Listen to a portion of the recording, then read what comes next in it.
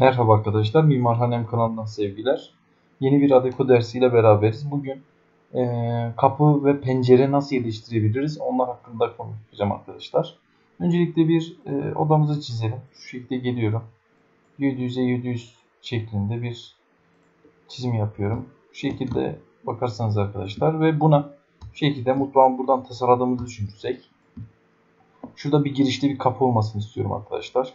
Şu şekilde sol panelden geldiğimizde bir kapı seçersek ve otomatikmen kapıyı şu an mevcut oluyor arkadaşlar. Şu şekilde kapıyı eğer şey yaparsanız açılış yönleri bu şekilde olur arkadaşlar. Ee, herhangi bir yere şu olacak şekilde ortalama tıklıyorum arkadaşlar. Tıkladıktan sonra karşıma böyle bir ekran geldi. Buradan kapı modelimi seçebilirim arkadaşlar. Şuradan hangi kapıdan olmasını istiyorum. Ben şu kapıyı seçiyorum. Kapıyı seçtikten sonra ölçülere gelelim. 90 yazıyor. Mesela diyelim ki bizim kapımız 95 santim. Ve sol tarafı yani şu kısımda. Şu kısımda ne kadar mesafe olsun diye. Ve burayı da ben 50 santim diyorum. Otomatikman zaten şu şekilde oluyor. Kapı yüksekliğini 2 metre olsun diyorum. Ve şurası otomatikman yine artıyor tekrar. Bu şekilde yaptıktan sonra e, şuradan normal yaptıktan sonra buradan bunları yapmanıza gerek yok. Yaparsanız da şu şekilde imaj kapılarından buradan yarım açık şeklinde de yapabilirsiniz arkadaşlar. Ben direkt bu kapılardan tercih ediyorum. Tekrar geliyorum. Bunu bir daha tekrar seçtim. Bunu yaptıktan sonra tamam diyorum. Ve kapınız otomatikman bu şekilde yerleşmiş oldu arkadaşlar.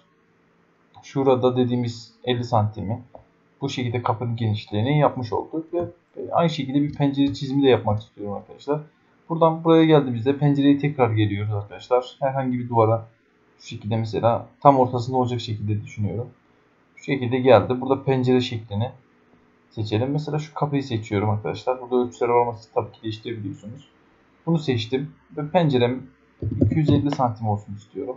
Burada ortalama bir değer oldu ve yerden yüksekliğinin 10 santim boydan bir pencere olmasını istiyorum. Burada 180 yaparsak hatta 200 santim yaparsak